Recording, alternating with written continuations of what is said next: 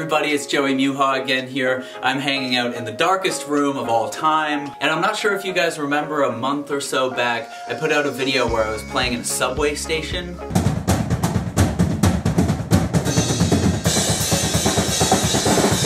And I was lucky enough to film that with a good friend of mine, Steve Haining, who owns a business called CreateOf. Make sure you go check out all of his work. But while we were there, he ended up taking some photos And there was one specifically that turned out very well. It ended up looking like this. So of course it's a really nice picture, so we ended up putting the photo online. And then I ended up getting into contact with a really, really talented local artist. Uh, his name is Sean Baker. You can check out all his socials right here and in the description below. And yeah, he's a really, really talented local guy. And he ended up making an incredible, incredible illustration of the photo. I mean, check that out.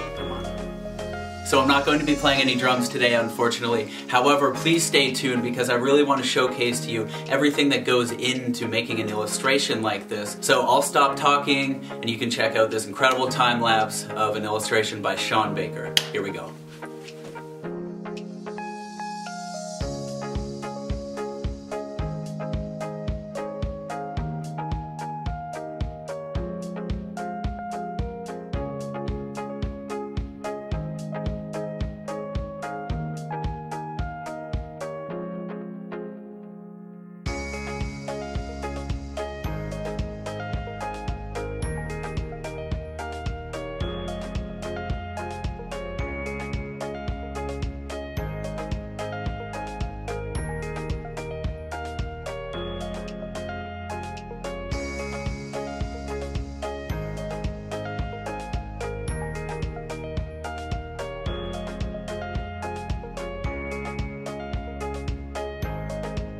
I personally think that's really incredible. Just the amount of detail that goes into all these nuances and subtleties that are within the photo are incredible.